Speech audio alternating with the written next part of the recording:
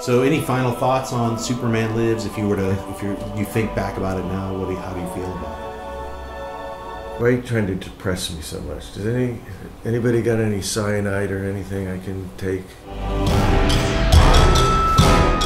Six more months before we see Ben Affleck in the bat suit, but you can get an early look at a story of a Superman that might have lived. In the 90s, Superman actually died, and it, you know it was probably for the best that he died because they'd given him a mullet as well.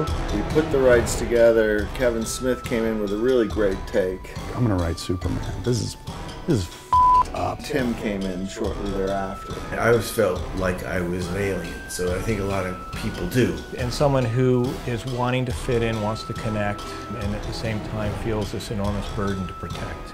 Thematically, the big thing for Tim was that Superman was an alien.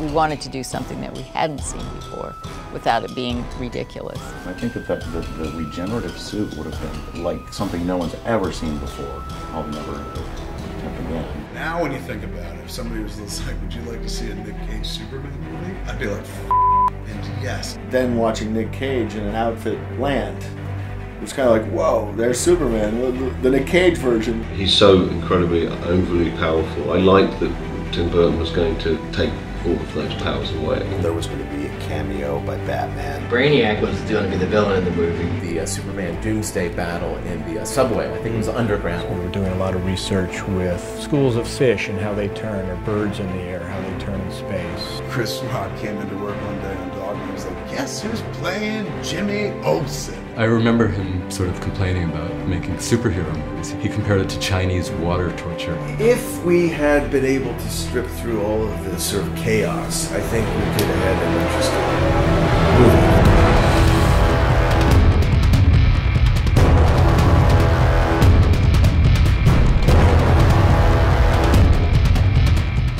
It's a movie I'd still like to see. And plus, I would have been able to do a lot of cool monsters. It's uh, uncovering the past. I love it. It's kind of haunted me in a way, you know, the, the what if of it. It's the one costume I've never gotten to really make that I've always thought would have been like amazing. The Death of Superman Lives. What happened? You're going to find out. Kevin Smith's going to help tell it.